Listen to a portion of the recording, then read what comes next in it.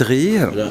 التغيير في حد ذاته آه، يجسد طبعا التحولات اللي تطرأ على المجتمع هذا لا يعني أن كل ما أنجز أو القديم أنه تجويز وليس لت ليست لديه أهمية أبدا. ألو ملي تنقولوا التغيير؟ قلت أننا تنقف على التغيرات التغييرات والتحولات اللي تطرأ على المجتمع وهذا لا يعني أن كل ما هو قديم أنه لا لا يصلح لشيء لا أبدا. القديم تبقى قديم ولكن نحن تنوقف على ما يطرأ حاليا في المجتمع. من خلال المؤشرات اللي طرقت لها كالسن كالبعد الاقتصادي كالبعد الثقافي البعد الاجتماعي البعد السياسي إلى آخره. هذا هو هذا هو المنظور اللي عند علم الاجتماع للتغيير. المعاناة ما خصناش نبقاو ننظروا لها غير بداك ذاك الجانب السلبي ولا الجانب القدحي. المعاناة واقع معاناه ظاهره اللي تخص جميع المجتمعات في العالم.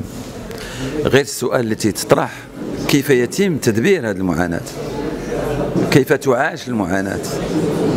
كيف يتم مثلا آه، مواجهة المعاناة؟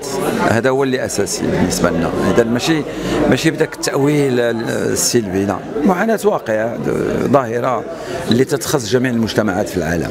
عندما نتكلم عن الحي بداك المفهوم العامي ديال الدرب تيبقى فضاء جغرافي. ولكن اللي تهمنا في علم الاجتماع وهي التغييرات اللي طرأت على ذاك الفضاء الاجتماعي.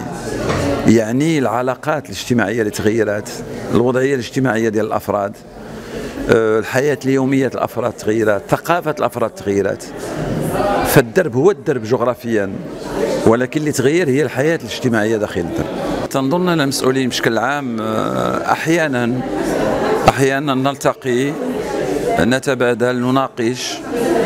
ولكن آه، كيف قلت في المداخلة ديالي نحن آه، نقف عند الواقع ولا عند تغيير هذا الواقع لأن هذه المسألة هذه آه، من اختصاص أصحاب القرار.